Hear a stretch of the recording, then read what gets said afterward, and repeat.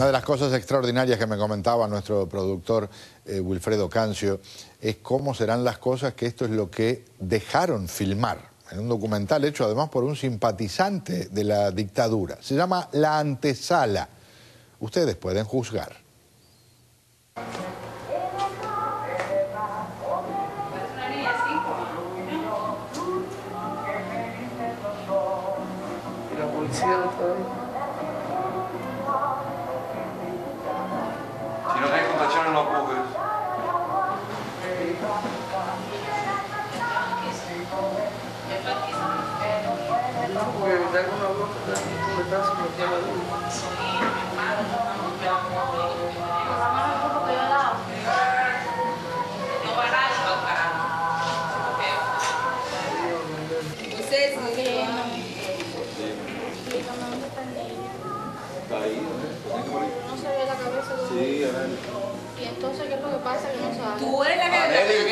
Que parir, Aneli.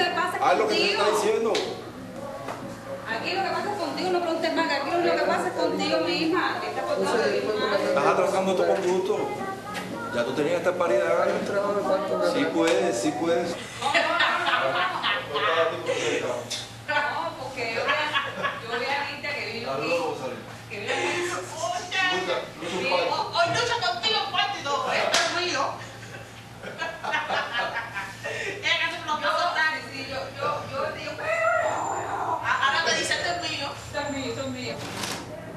Pero estamos muy mal. No, ¿dónde no me. Troca. Ya trocan. Ahí está. Tú estás trocado, pero troca el cuerpo.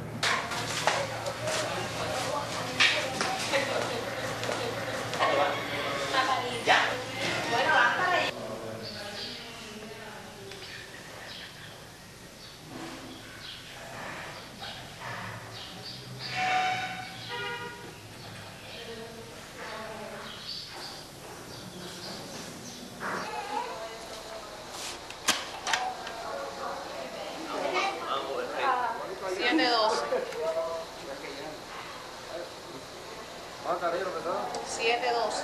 7.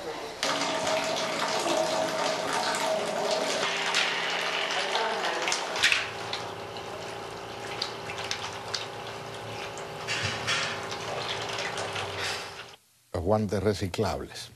Les presento a nuestro invitado, el doctor Alberto Domínguez Vali, es ginecólogo, es obstetra, es sexólogo y tuvo oportunidad de ver previamente eh, pasajes de este eh, video, lo vemos otra vez. ¿Qué piensa? Bueno, reconfirma algo y yo le agradezco a usted que usted me haya invitado a esto, eh, además porque nunca había visto eh, esto de la isla, pero reconfirma los hallazgos que yo diría a diario yo veo en mi consulta. Y me encantaría que alguna vez invitara a otro obstetra y ginecólogo y tratara de confirmar las cosas que yo digo, porque las cosas que yo digo, desgraciadamente yo nunca he oído que se hablen de ella. La laceración continua, altamente frecuente de los cuellos de las mujeres cubanas, de los cuellos del útero de las mujeres cubanas. Eh, yo digo en forma de chanza, pero en forma triste, que yo puedo reconocer a una mujer cubana por el cuello de su útero, porque son muy raros los cuellos de los úteros de, de las cubanas que no están totalmente lacerados.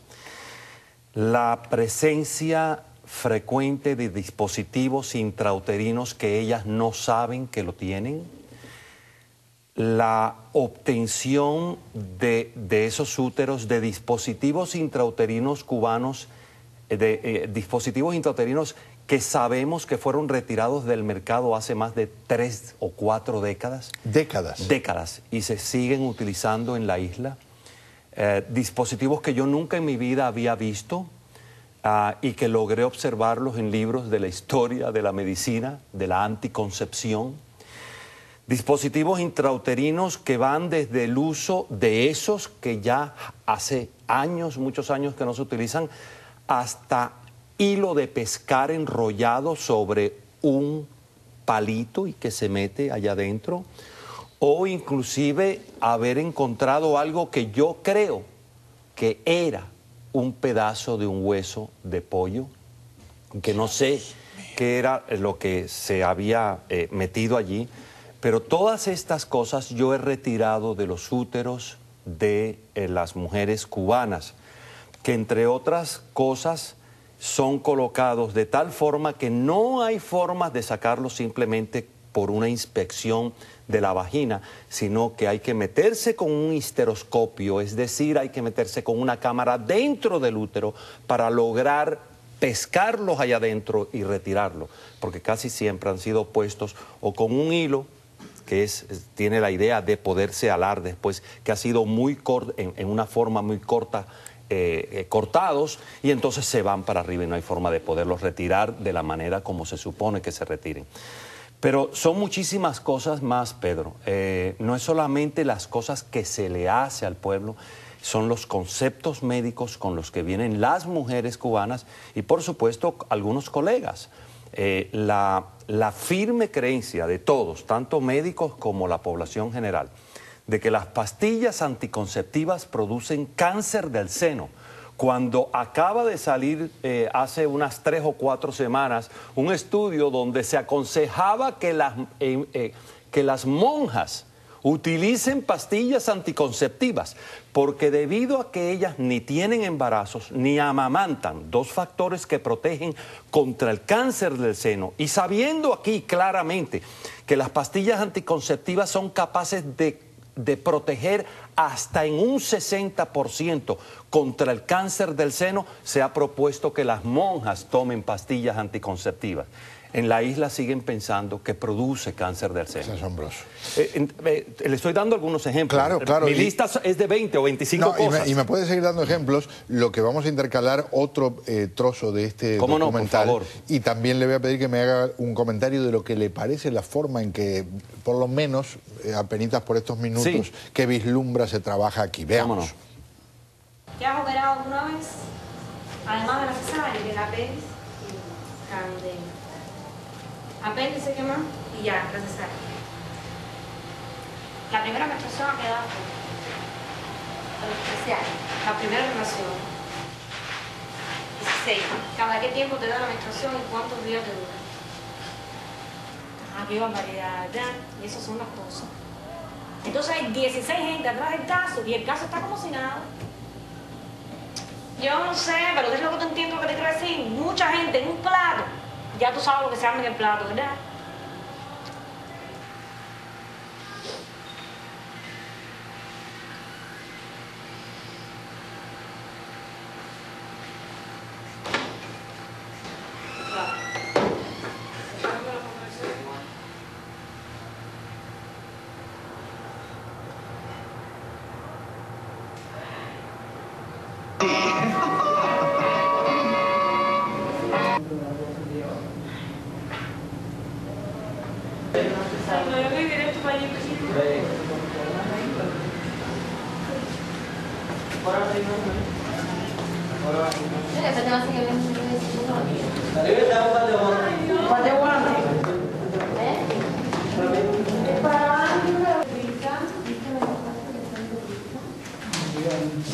Se llama La Antesala, la hizo el brasileño Pedro Freire. ¿Qué me dice, doctor Domínguez Vali, de lo que ve allí? Bueno, definitivamente yo puedo entender de que Cuba es un país dentro del continente americano considerado en estos momentos un país pobre. Y por tal razón, como cubano, yo debo de entender que no se puede encontrar en las salas de parto de, de, Cuba las cosas que nosotros tenemos, gracias a Dios, en las salas de parto de aquí. Pero de todas formas, no se puede negar en esas imágenes el hacinamiento que hay entre las mujeres que están pariendo. No se puede negar de que sería fácil poder pintar los soportes eh, de, las, de los líquidos intravenosos y no, no, tenerlos como se ven en las imágenes, eh, totalmente deteriorados, falta de pintura, con un mal aspecto. Son detalles que le muestran a uno cómo se ha perdido la calidad en el detalle de lo físico, ah, ¿no? Ah, la insensibilidad de quienes trataban a estas mujeres. Yo he visto insensibilidad en las salas de parto de algunos hospitales de la ciudad de Miami. Es un problema que tenemos, por desgracia, un buen número de las personas que practicamos en medicina y nos exponemos todos los días a lo que para la gente no es común y es la vida o la muerte y para nosotros es el pan nuestro de cada día, pero uno no puede perder la sensibilidad ante el dolor humano. Y eso es algo que se ve claramente allí en, la, en este documental.